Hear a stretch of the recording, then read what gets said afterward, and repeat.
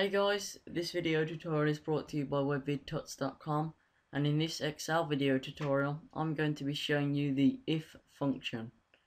Okay, the if function is used to argue against two different cells. So I'm just going to put one here and two here. And to start this function we're either going to just click on the cell and type an equal sign.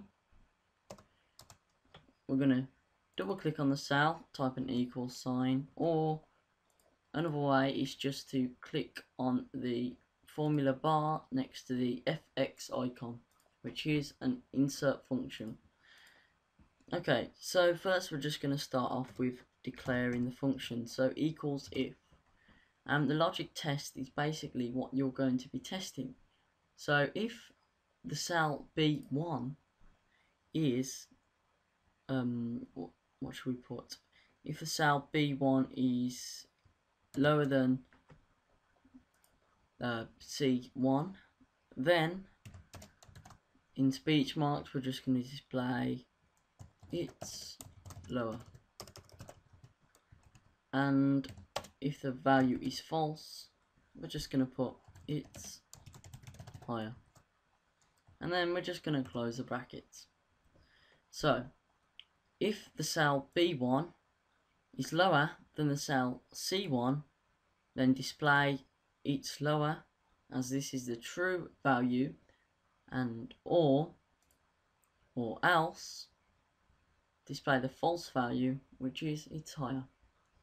So I'm just going to hit enter and as you can see the if function has automatically detected that this cell, the cell B1, is lower than the cell C1. So if I was to change the cell C1 to 0, the if function automatically recognizes that the cell C1 is lower than the cell B1. So you can put anything in here. So if I put 301, the if function is going to auto automatically recognize that the cell B1 is higher than the cell C1. Okay, you can do the other way around if you wish to.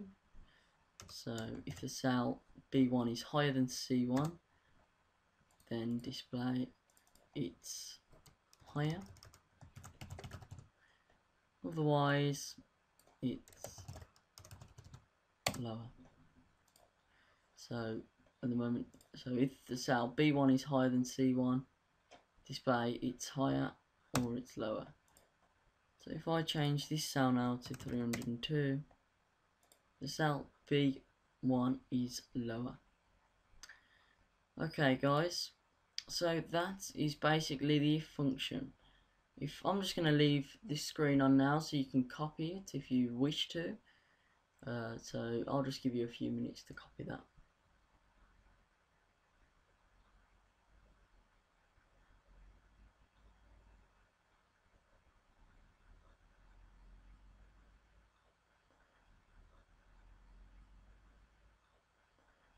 Okay, thanks again guys for watching this video tutorial.